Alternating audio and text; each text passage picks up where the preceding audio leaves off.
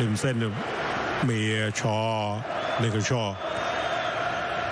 อีลิกเซนเห็นบรูโน่ขยับนะครับแต่บอลปริ้นมาหาทางแอนโทนี่เอาลงคุยได้อาแอนโทนี่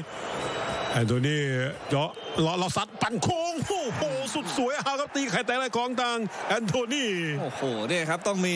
ประตูเป็นแรงกระตุ้นขึ้นมาบ้างนะครับ แล้วใส่ความสามารถเฉพาะตัวของแอนโทนีครับขอเกมแรกทำประตูได้ 2 นัดติดเลยนะครับ รอรับบอลทางฝั่งขวาอยู่ครับหนีกรีลิชแล้วก็ตัดเข้าหาเหลี่ยมซ้ายนะครับโอ้โหนี่ยิงคมจริงๆครับน้ำหนักทิศทางมาเป๊ะมากๆนะครับหนีบล็อกของโกเมสเข้าไป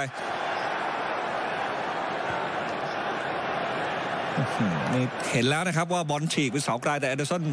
บินเซฟไม่ไหวจริงๆครับ ลูกนี้เป็นการจบที่ดีมากๆ ดูสดทรูพรีเมียร์ลีกรบทุกแมตช์กับแพ็กเกจ full season สุดคุ้มเพียง 2,700 บาท ซื้อได้ตั้งแต่วันนี้ถึง 30 ตุลาคม 2565 เชียร์มันทุกนัดไม่พลาดทุกแมตช์ที่ True ID จัดเลย